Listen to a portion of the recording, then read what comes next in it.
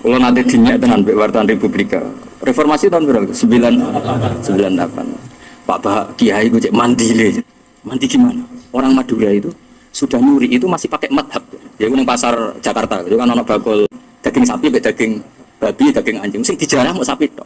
Lah ono itu untuk babi. No haram ini haram. Eh, padahal daging wedhus pun kan yo haram, colongan. Artinya apa? Wong Indonesia maling aja bermadhab jadi. Terus kanca kula sak kantor ono sing wong serandaan wong Bantul, wong cerita. Di kampung saya itu sing sering dicolong ya wedhus. Babi ku ora ono sing nyolong. Mereka malingnya itu wong Islam. Jadi nak wedhus iku halal. Nak babi itu Babi ora kan, maling babi ora yakin. Itu ngapa orang nyolong babi? Oh, haram ya. Selama nyolong wedhus, haram apa sih itu? Malah itu wedhusnya halal. Pada Indonesia unik kok. Sangat diteliti uangnya.